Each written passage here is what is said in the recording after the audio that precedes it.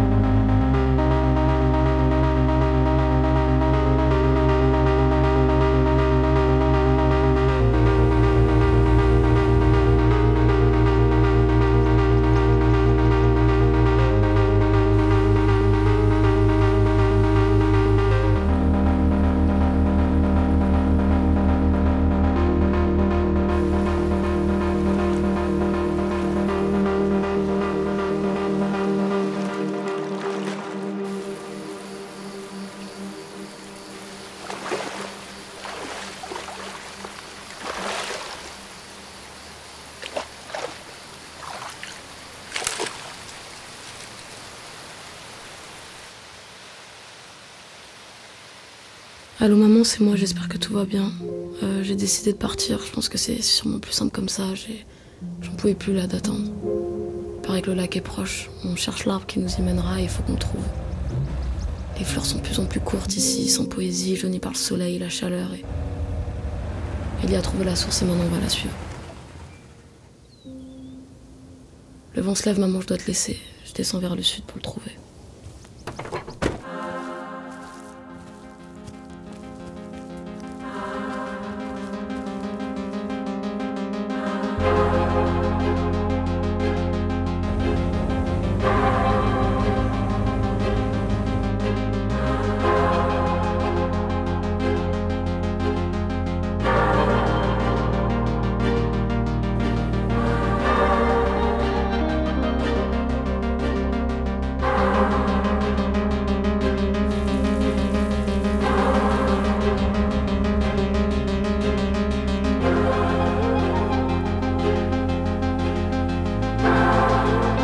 Ici, le lac aussi. Il y avait raison. On attend enfin que les nuages deviennent gris. La montagne et les corps sont muets. Voilà la fin que j'attendais.